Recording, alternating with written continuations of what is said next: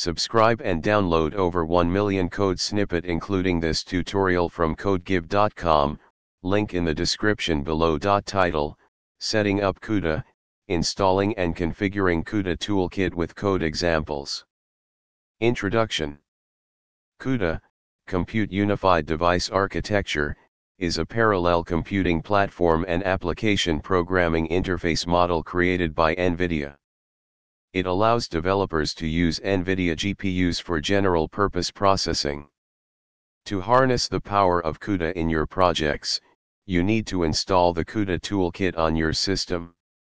This tutorial will guide you through the process of installing CUDA and configuring its location. Step 1, check GPU compatibility. Before installing CUDA, ensure that your GPU is compatible. Visit the official NVIDIA CUDA GPU support page to verify your GPU's compatibility, https colon slash slash developer.nvidia.com slash CUDA hyphen GPUs. Step 2, download CUDA Toolkit.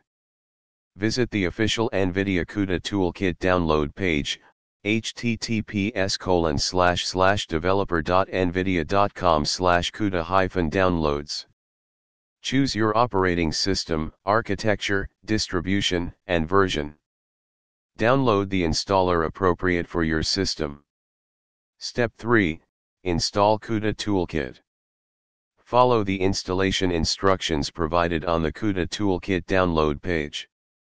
Below are general steps for Linux, Ubuntu, users. Follow the on-screen instructions during the installation process. Ensure that you include the path environment variable setup in your shell profile. For example, add the following lines to your slash.bashrc file. Don't forget to source your profile or restart your terminal to apply the changes. Step 4, Verify installation. To verify the installation, check the CUDA version and ensure that your GPU is recognized you should see information about the CUDA version, and NVIDIA SMI should display details about your GPU. Step 5, Set CUDA install location, optional.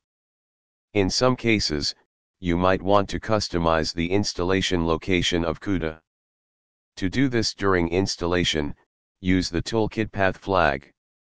Alternatively, after installation, you can move the CUDA installation directory to your desired location and update the path accordingly. Conclusion You have successfully installed CUDA Toolkit on your system and configured its location. Now you can leverage the power of CUDA for GPU accelerated computing in your projects. Make sure to refer to the official documentation for any additional configuration or troubleshooting, https colon slash slash docs.nvidia.com slash cuda slash index.html. ChatGPT